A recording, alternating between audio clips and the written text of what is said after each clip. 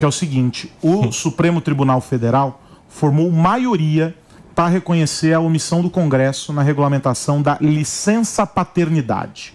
Os ministros definiram prazo de 18 meses para os parlamentares legislarem sobre a questão.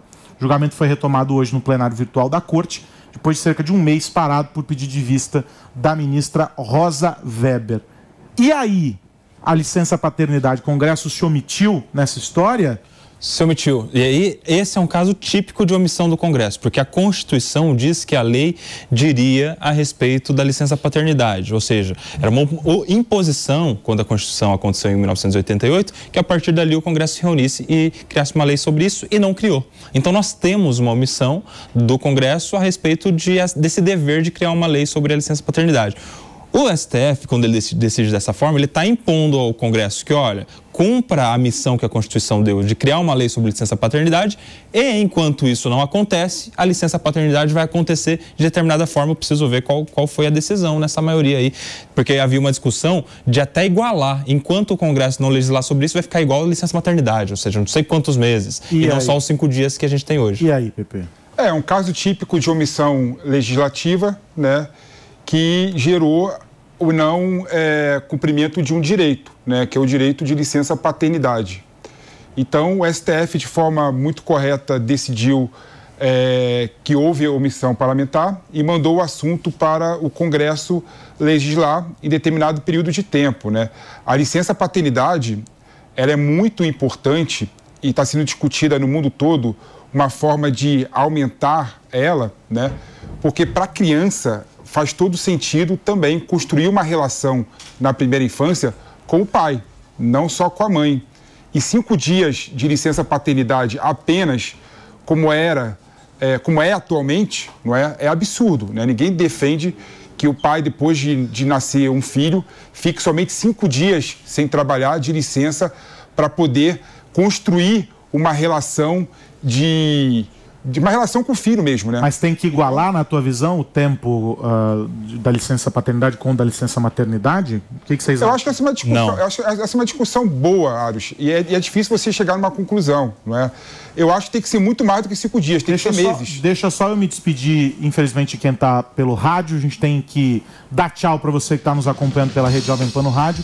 Hoje é sexta-feira, então a gente só vai se encontrar aqui na programação da PAN na segunda, às 10 da manhã. Um grande abraço para você que está em todo o Brasil pela Rede Jovem Pan de rádio. Eu acho que tem que ser, eu acho que tem que ser o tempo suficiente para criar o vínculo entre pai e filho e para o pai ajudar a mãe no dever de cuidar do filho. Né? É, é, importante destacar também né, que várias empresas né, fizeram é, licença paternidade de dois meses, de três meses, como uma medida de ESG, né? ou seja, medida social, de, social né? para mostrar para o mercado que ela se importa com os funcionários e se importa com a sociedade em si. Ou seja, gera valor na sociedade isso. A gente deveria ter pelo menos de 20 a 30 dias, eu acho que seria indispensável. Mas não igualar, pra... não igualar. Não igualar, porque isso tem um impacto econômico também importante na, na, no nosso cenário brasileiro. Eu, né? eu acho que é uma excelente oportunidade para o Congresso fazer uma discussão sobre o modelo. E eu defendo o modelo da licença parental que é onde você dá liberdade de escolha para as famílias. Você tem que criar um modelo onde, de acordo com a realidade de cada família, pai e mãe podem negociar entre si quanto tempo e como vai ser o arranjo dessa licença. Inclusive porque esse aumento da licença maternidade sobre é, exclusivamente a mulher é um dos fatores que explica a desigualdade de renda da mulher no mercado de trabalho, porque Mas é um custo que fica sobre ela. Tá é, é porque isso geraria um, um, um, problema para o empregado, né? Essa coisa dele, ele escolher com a mulher se ele fica mais ou menos tempo de licença. Porque quando ele tem, por imposição da lei, eu fico um mês ou 20 dias, é uma relação que ele tem que falar para o patrão, olha, é a lei que diz e tal. Agora, se ele chega para o patrão, eu combinei com a minha mulher que ela vai ficar cinco dias, eu vou ficar quatro meses. Depende do Já cria uma situação de constrangimento ali na relação de emprego. Eu acho que a lei tem que determinar quanto tempo é a, é, é a licença. É, eu acho pronto. que a gente não deve impor através do Estado um único modelo de família e distribuição de tarefas é, familiares, não. Eu acho que a gente precisa ter uma, uma legislação que leve em conta a pluralidade da sociedade. A cultura faria uma pressão gigantesca para os pais